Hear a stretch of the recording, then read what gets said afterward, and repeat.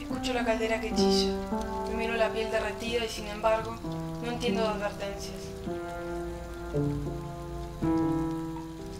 No hay indicios que contengan instrucciones, no hay más señales que dirijan a respuestas.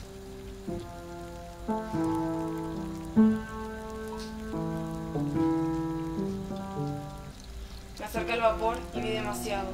Cansé los ojos en un fundido blanco. Y fui, entonces, yo misma la evidencia.